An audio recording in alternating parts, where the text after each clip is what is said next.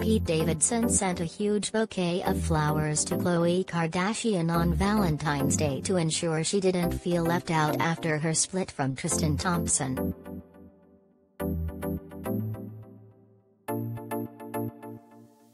The SNL comedian, 28, took it upon himself to treat Khloe, 37, to some gorgeous flowers as his romance with her sister Kim, 41, heats up.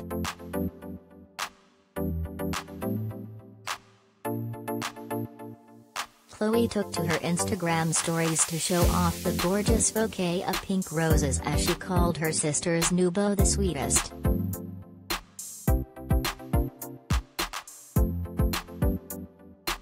The sweetest. Thank you Pete, the Good American co-founder penned.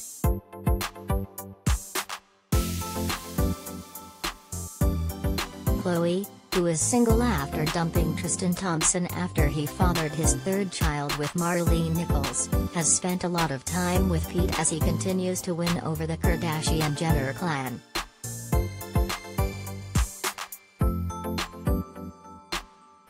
Pete has been dating Kim since October and has grown close to her family since then.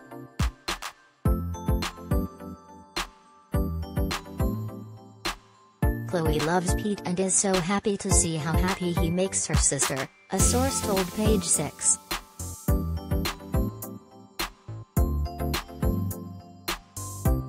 She is so happy to see how happy he makes her sister.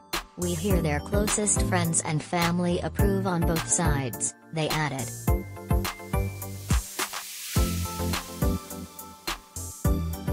And it seems as though Pete pulled out all the stops for his girlfriend Kim on Valentine's Day too.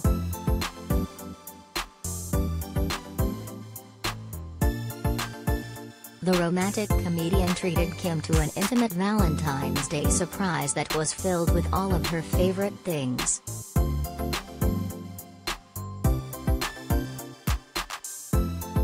Sources told Page Six that Pete rented out the top of the Carlyle Hotel for the reality TV icon and filled the luxurious space with flowers and gifts.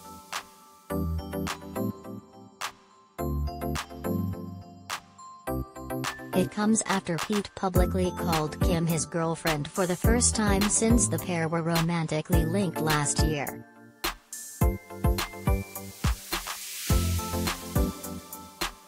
The Saturday Night Live comic was chatting to Kay Adams for a Super Bowl commercial in which he opened up about his life and casually dropped in his relationship status.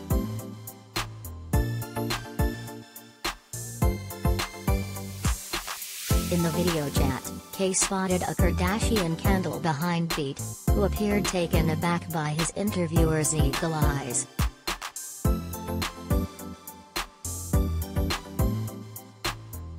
He went on to discuss social media and said, well, I don't really have Instagram, I don't have Instagram or Twitter or any of that stuff. So, most of my daily life is getting into cars and showing up to a set.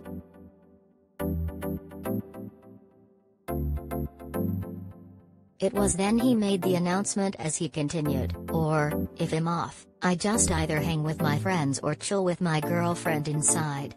So I don't do much.